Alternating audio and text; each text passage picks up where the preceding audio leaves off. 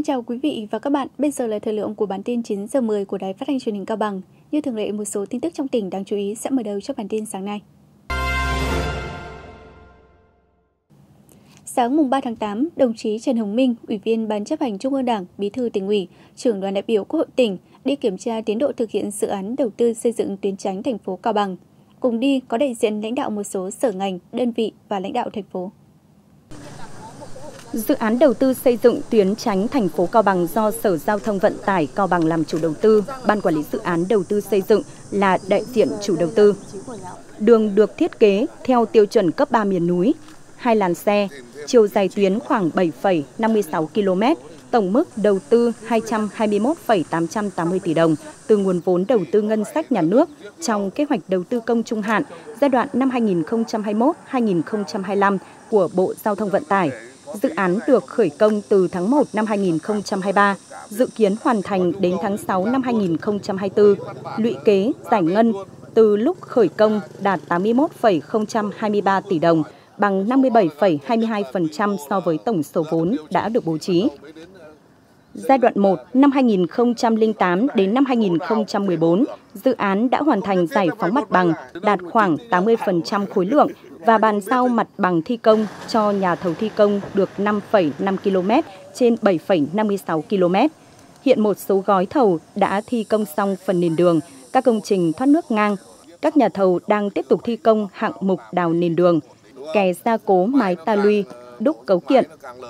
Qua kiểm tra, dự án gặp một số khó khăn trong công tác giải phóng mặt bằng thuộc địa phận phường Duyệt Trung, Đề Thám mặt bằng thi công đường vận chuyển đến bãi đổ thải của dự án vướng mắc tại một số vị trí chưa có mặt bằng, tuyến thi công chưa thông dẫn đến khó khăn về đường vận chuyển đổ thải, thay đổi hướng đường vận chuyển, làm tăng cự ly, cước vận chuyển và tăng giá thành xây dựng. Tại buổi kiểm tra, Sở Giao thông Vận tải kiến nghị Ủy ban Nhân dân tỉnh chỉ đạo nhà đầu tư dự án phát triển đô thị số 7A thi công tuyến N5 bảo đảm đồng bộ kết nối với dự án tuyến tránh thành phố và hoàn thành đến ngày 30 tháng 6 năm 2024. Ủy ban Nhân dân thành phố chỉ đạo Trung tâm Phát triển Quỹ đất và Giải phóng mặt bằng thành phố, các phòng ban, đơn vị trực thuộc yêu cầu các hộ gia đình đã được đền bù giai đoạn trước năm 2008, năm 2014 thực hiện việc tháo rỡ, di chuyển và bàn giao mặt bằng cho chủ đầu tư thực hiện dự án, sớm giải quyết các điểm tắc nghẽn để thông tuyến và phục vụ công tác đổ thải phối hợp với Sở Giao thông Vận tải giải quyết kịp thời những vướng mắc trong quá trình thực hiện dự án trên địa bàn thành phố quản lý. Sở Tài nguyên và Môi trường phối hợp hướng dẫn chủ đầu tư, Ủy ban nhân dân thành phố thực hiện các thủ tục về đăng ký đất đai, bản đồ giải thửa.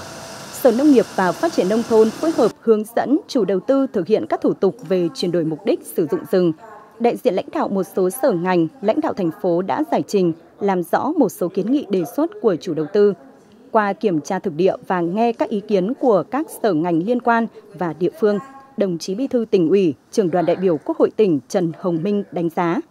mặc dù đã có nhiều nỗ lực cố gắng trong triển khai thực hiện dự án đầu tư xây dựng tuyến tránh thành phố, song công tác phối hợp giữa chủ đầu tư, đơn vị tư vấn giám sát, đơn vị thi công vẫn chưa đạt hiệu quả yêu cầu chủ đầu tư, nhà thầu và địa phương tiến hành giả soát đối với các điểm còn vướng mắc, đẩy mạnh tuyên truyền vận động người dân chấp hành chủ trương quy định về đền bù, giải phóng mặt bằng, sớm giao mặt bằng sạch cho đơn vị thi công. Từ nay đến ngày 30 tháng 8 năm 2023, chủ đầu tư, thành phố và đơn vị liên quan giải quyết dứt điểm về công tác giải phóng mặt bằng, quyết liệt thực hiện các biện pháp kể cả cưỡng chế, giải quyết các điểm nghẽn để thông tuyến và phục vụ công tác đổ thải để tạo điều kiện thi công dự án theo tiến độ đề ra. Đề nghị chủ đầu tư, đơn vị thi công huy động nhân công, tập trung phương tiện máy móc khắc phục khó khăn, đẩy nhanh tiến độ thi công, làm đến đâu gọn đến đó, đảm bảo chất lượng kỹ thuật, ra soát xử lý ngay các vị trí mái ta luy bị sạt, trượt trên tuyến đảm bảo an toàn trong quá trình thi công đẩy nhanh tiến độ giải ngân vốn đầu tư đến cuối năm 2023 đạt 100%, tăng cường kiểm tra giám sát và giải quyết kịp thời những vướng mắc phát sinh ở cơ sở, phân đấu đến tháng 6 năm 2024 hoàn thành dự án đầu tư xây dựng tuyến tránh thành phố. Đoàn công tác của Sở Y tế vừa đi kiểm tra, giám sát công tác phòng chống HIV/AIDS, triển khai thực hiện chương trình mục tiêu quốc gia về y tế tại hai xã Phan Thanh, Mai Long, huyện Nguyên Bình. Kiểm tra giám sát tại xã Phan Thanh cho thấy, ngay từ đầu năm, trạm y tế đã xây dựng kế hoạch tích cực tham mưu và chủ động triển khai các biện pháp phòng chống dịch. Các dịch bệnh truyền nhiễm nguy hiểm và dịch bệnh mới nổi đều được khống chế kịp thời, không để dịch lớn xảy ra trên địa bàn. Triển khai đồng bộ các chương trình mục tiêu quốc gia về y tế, trạm y tế cơ bản được trang bị đầy đủ trang thiết bị phục vụ công tác khám chữa bệnh theo tiêu chí quốc gia về y tế xã. Tại xã Mai Long, tính đến ngày 31 tháng 7, tổng số lũy tích bệnh nhân HIVS trên địa bàn là 40 người, trong đó bệnh nhân phát hiện mới là 27 người, bệnh nhân HIVS đang được quản lý trên địa bàn là 37 người, số bệnh nhân điều trị ARV là 23 người. Qua giám sát cho thấy các trạm y tế xã đã triển khai thực hiện đồng bộ các chương trình mục tiêu quốc gia về y tế, công tác khám chữa bệnh, chăm sóc sức khỏe nhân dân trên địa bàn cơ bản đáp ứng yêu cầu. Đối với chùm lây nhiễm HIV xảy ra trên địa bàn xã Mai Long, Trung tâm Kiểm soát Bệnh tật tỉnh đã xét nghiệm sàng lọc cho các đối tượng có nguy cơ cao, sớm điều tra phát hiện dịch và triển khai một số biện pháp can thiệp dự phòng, tư vấn, điều trị ARV cho các trường hợp mới nhiễm HIV. Đoàn công tác Sở Y tế yêu cầu Trung tâm Y tế huyện Nguyên Bình ưu tiên tập trung cho công tác phòng chống dịch HIV tại xã Mai Long, tăng cường công tác điều trị ARV cho những người mới HIV. Tổ chức hội trần trực tuyến về phương án điều trị ARV, chuẩn bị các điều kiện thủ tục cần thiết để mở phòng khám điều trị ARV tại trạm y tế xã Mai Long. Cùng ngày, đoàn kiểm tra giám sát cũng đã đi kiểm tra tình hình nhiễm HIV tại xóm Cốc Cai, xã Mai Long. Đây là khu dân cư nằm sát với xã Bạch Thành, huyện Bắc Nạm, tỉnh Bắc Cạn. Xóm Cốc Cai có 55 hộ gia đình thì có đến 20 người nhiễm HIV. Nguyên nhân chủ yếu do nghiện trích ma túy và sử dụng chung bơm kim tiêm. Hội Liên hiệp Phụ nữ tỉnh vừa tổ chức ra mắt tổ truyền thông cộng đồng, địa chỉ tin cậy cộng đồng và bồi dưỡng nâng cao kiến thức, năng lực thực hiện bình đẳng giới và giải quyết những vấn đề cấp thiết đối với phụ nữ và trẻ em cho 150 cán bộ chủ chốt và nhân dân hai xóm Lũng Tỳ và Xí Thầu, xã Vũ Nông, huyện Nguyên Bình. Mỗi địa chỉ tin cậy và tổ truyền thông cộng đồng có 7 thành viên, gồm lãnh đạo xã, lãnh đạo chủ chốt các ban ngành đoàn thể của xã, của xóm. Mô hình tổ truyền thông cộng đồng và địa chỉ tin cậy được thành lập nhằm tuyên truyền vận động người dân thay đổi nếp nghĩ, cách làm, góp phần xóa bỏ định kiến và khuôn mẫu giới trong gia đình và cộng đồng, những tập tục lạc hậu và một số vấn đề xã hội cấp thiết đối với phụ nữ và trẻ em hỗ trợ giúp đỡ kịp thời nạn nhân bị bạo lực gia đình về nơi tạm lánh nhằm tránh rủi ro về sức khỏe tính mạng, giảm thiểu được hậu quả của bạo lực gia đình. Tại buổi ra mắt, người dân hai xóm cũng được cung cấp truyền đạt kiến thức về bình đẳng giới và giải quyết những vấn đề cấp thiết đối với phụ nữ và trẻ em thuộc chương trình mục tiêu quốc gia phát triển kinh tế xã hội vùng đồng bào dân tộc thiểu số và miền núi giai đoạn năm 2021-2030, qua đó giúp cho người dân nâng cao nhận thức, vận dụng hiểu biết của mình để tuyên truyền, vận động và giải quyết những vấn đề cấp thiết trong cuộc sống thường ngày tại gia đình, cộng đồng mình, nhất là những vấn đề liên quan tới phụ nữ và trẻ em gái, nạn nhân bị mua bán, bạo lực gia đình, người khuyết tật, từ đó đảm bảo tiếng nói và sự tham gia thực chất của phụ nữ và trẻ em trong các hoạt động phát triển kinh tế xã hội của cộng đồng địa phương. Đại diện lãnh đạo Hội Nông dân tỉnh vừa đến thăm và trao tặng sổ tiết kiệm trị giá 5 triệu đồng cho gia đình hội viên Trần Thị Nang do hoàn cảnh đặc biệt khó khăn, trú tại xóm 1, xã Chu Trinh, thành phố. Động viên gia đình khắc phục khó khăn, tích cực tham gia lao động sản xuất, vươn lên trong cuộc sống, lãnh đạo Hội Nông dân tỉnh đề nghị các cấp hội nông dân tiếp tục quan tâm giúp đỡ các gia đình hội viên nông dân nghèo vượt qua khó khăn, thoát nghèo bền vững – Hoạt động trao sổ tiết kiệm cho gia đình hội viên có hoàn cảnh khó khăn nằm trong chuỗi các hoạt động chào mừng Đại hội đại biểu Hội Nông dân các cấp tiến tới Đại hội đại biểu Hội Nông dân Việt Nam lần thứ 8, nhiệm kỳ 2023-2028.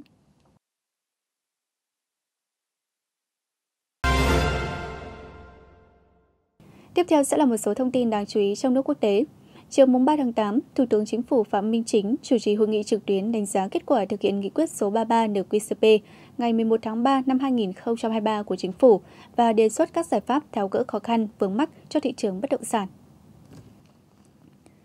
Phát biểu kết luận hội nghị, Thủ tướng Phạm Minh Chính nhấn mạnh, thông điệp của hội nghị là chung tay tháo gỡ khó khăn vướng mắc để thị trường bất động sản phát triển ổn định, an toàn, lành mạnh, hiệu quả, bền vững – về phương hướng thời gian tới, Thủ tướng yêu cầu tiếp tục kiên trì, kiên định, giữ vững, ổn định kinh tế vĩ mô, kiểm soát lạm phát, thúc đẩy tăng trưởng, bảo đảm các cân đối lớn của nền kinh tế, cần thúc đẩy nhanh sự ra đời của các sàn giao dịch bất động sản để phát huy khả năng tự điều chỉnh của thị trường, hạn chế việc can thiệp hành chính. Các bộ ngành địa phương tập trung khẩn trương hoàn thành công tác quy hoạch với các ngành, vùng, địa phương, phân khu. Để tăng tổng cung và tổng cầu, cần quyết liệt triển khai chính sách tiền tệ chủ động, linh hoạt, nới lỏng, kịp thời hiệu quả hơn nhưng có kiểm soát, đẩy mạnh tiến hành khoanh nợ, cơ cấu lại nợ, giãn, hoãn nợ, phối hợp đồng bộ chặt chẽ, hài hòa với chính sách tài khóa, mở rộng hợp lý, có trọng tâm, trọng điểm, hiệu quả, nhanh chóng, dứt khoát với các biện pháp giảm, giãn hoãn thuế, phí, lệ phí, trong đó giảm thuế VAT, phải nhanh với tinh thần cái gì được thì cho đi trước. Không thể chờ cả gói mới thực hiện, miễn là đúng luật pháp. Tập trung thúc đẩy các động lực tăng trưởng, đẩy mạnh sản xuất kinh doanh, tạo công an việc làm, tạo sinh kế, thu nhập, nâng cao đời sống cho người dân cơ cấu lại các phân khúc bất động sản cho phù hợp, lưu ý quan tâm phân khúc nhà ở xã hội, nhà ở công nhân, nhà cho người thu nhập trung bình. Cơ cấu bất động sản không hợp lý khiến nhiều người có nhu cầu thực, không thể tiếp cận nhà ở. Thứ năm, đẩy mạnh nhà ở xã hội, nhà ở công nhân, cải tạo chung cư cũ. Lãnh đạo các tỉnh thành phố cần chú trọng công tác này, thực hiện thực chất, hiệu quả, không hình thức. Cuối cùng là giải pháp về tổ chức thực hiện và giải pháp con người tăng cường giám sát chặt chẽ đối với các vùng trồng và cơ sở đóng gói sẽ giúp trái cây xuất khẩu của Việt Nam giữ được đà tăng trưởng. Theo Bộ Nông nghiệp và Phát triển Nông thôn, kinh ngạch xuất khẩu sản phẩm rau quả đạt 3,2 tỷ USD trong 7 tháng qua, với tốc độ tăng trưởng tới 68%. Trong những tháng tới, để đảm bảo mục tiêu xuất khẩu 5 tỷ USD của ngành hàng rau quả, đòi hỏi phải ứng phó kịp thời với những cảnh báo về việc vi phạm các quy định nhập khẩu thị trường quốc tế, Thanh long từng là mặt hàng 10 năm liền đứng đầu trong danh sách xuất khẩu trái cây và được mệnh danh là loại trái cây tỷ đô, nhưng giờ đây danh hiệu vua trái cây đã thuộc về sầu riêng khi mặt hàng này đã vượt thanh long. Sầu riêng có thể xuất khẩu mang về kim ngạch 1,2 tỷ USD trong năm nay và dự kiến kim ngạch có thể mang về 2 tỷ USD vào năm sau. Việc sầu riêng vươn lên thành loại trái cây xuất khẩu lớn nhất của Việt Nam cũng được các doanh nghiệp trong ngành nhận định là một kỳ tích bởi năm ngoái, quả này chỉ mang về 420 triệu USD xuất khẩu. Kết quả xuất khẩu sầu riêng ấn tượng với mức tăng hơn 68%, có sự đóng góp rất lớn từ thị trường Trung Quốc. Tuy nhiên, trước việc Tổng cục Hải quan Trung Quốc thông báo các vi phạm về kiểm dịch thực vật của nhiều lô hàng trái cây từ Việt Nam, sắp tới các cơ quan quản lý của Việt Nam sẽ kiểm soát kỹ hơn nữa các mã số vùng trồng, đóng gói. Bộ Nông nghiệp và Phát triển Nông thôn cho biết, các mã mà hiện nay không chỉ có Trung Quốc kiểm dịch, mà các cơ quan kiểm dịch thực vật Việt Nam nếu phát hiện nhiều lần trước khi xuất khẩu và yêu cầu quay về tái chế thì chúng tôi sẽ xem xét báo cáo bộ để yêu cầu tạm dừng các mã này, kể cả cơ sở đóng gói. Hiện Việt Nam có khoảng 6.500 vùng trồng và 1.600 cơ sở đóng gói tại 33 địa phương được cấp mã xuất khẩu. Có được visa xuất khẩu vào nhiều thị trường lớn và quan trọng, ngành rau quả đang dần phải hoàn thiện việc quản lý chất lượng để giữ đà tăng trưởng. Bộ Giáo dục và Đào tạo vừa ban hành khung kế hoạch thời gian năm học 2023-2024 đối với giáo dục mầm non, giáo dục phổ thông, giáo dục thường xuyên.